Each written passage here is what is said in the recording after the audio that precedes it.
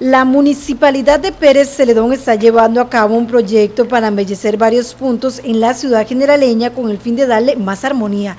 En ese sentido, se están sembrando varios árboles y flores en varias aceras. Además, se están haciendo obras en varios parques. Este proyecto lleva varias partes.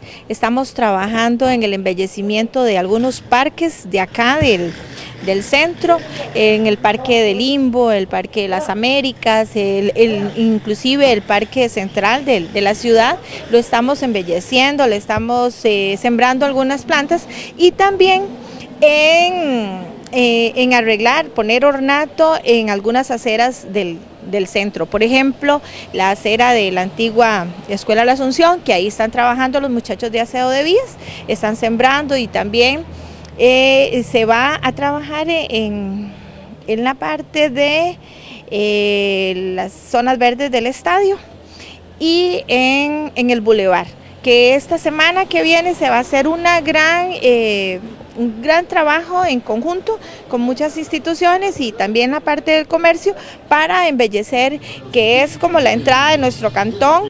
Las autoridades hacen un llamado a la población para que cuiden estos espacios. Y, así también decirle a la gente que por favor que no las arranquen, que no se las lleven, que más bien que las cuidemos para que esto sea embellecimiento y, de nuestro lindo cantón de Pérez Celedón, que ya casi vienen las épocas navideñas y todo eso es a esos que queremos eh, fortalecer. ¿De dónde surge esta iniciativa? Este proyecto es eh, un proyecto que viene de la utilidad para el desarrollo en la parte de aseo de vías. Entonces es embellecimiento de algunas zonas verdes del casco urbano.